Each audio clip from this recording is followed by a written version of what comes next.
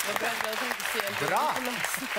Dere har fått eh, Dere har fått penn og papir. Det betyr at vi har kommet til eh, Beatpoeten.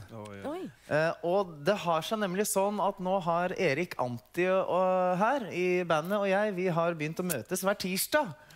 Over et eh, glass med Cola Zero. Og så skriver vi noe dikt sammen. Så i dag så har vi satt sammen eh, et lite dikt til dere bestående av eh, noen barne-TV-låter. Så jeg vil veldig gjerne Så jeg vil veldig gjerne at dere skriver ned hvilken, eh, hvilken barne-TV-serie disse låtene er hentet fra. Ok? Den går sånn her.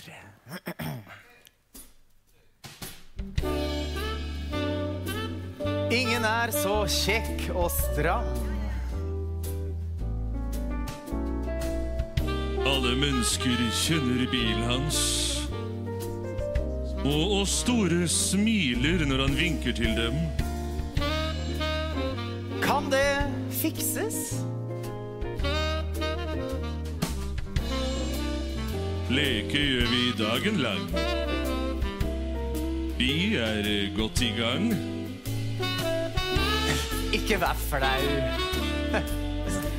Du liker sau.